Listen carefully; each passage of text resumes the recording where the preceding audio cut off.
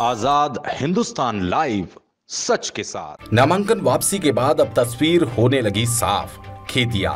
जनपद पंचायत पांसेबल के क्षेत्र में आज दिन भर मान मनोबल का दौर चला। वहीं कांग्रेस और भाजपा के पदाधिकारी अपने समर्थकों के पक्ष में अन्य लोगों के नामांकन वापसी का प्रयास करते रहे।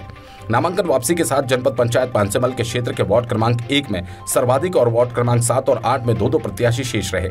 नाम वापसी के साथ ही प्रत्याशी अपने चुनाव चिन्ह की प्रतीक्षा में है।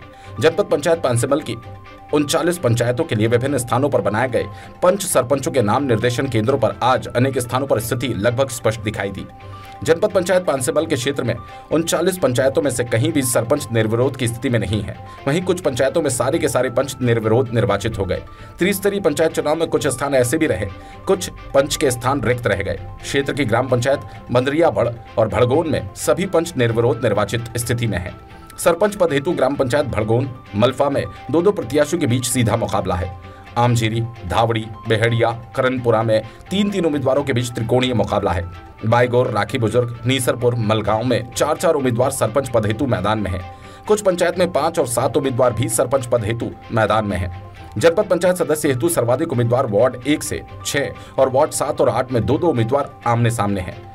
नाम वापसी के साथ पंचायत चुनाव में स्थिति लगभग उम्मीदवारों को लेकर साफ़ हो गई। चुनाव चिन्ह आवंटन के साथ निर्वाचन प्रक्रिया आगे बढ़ रही है। निर्वाचन अधिकारी, सहायक निर्वाचन अधिकारियों के बीच मंथन के साथ व्यवस्थाओं को अंजाम देने में जुटे हैं। खेतिया से राजेश नाहर की रिपोर्ट।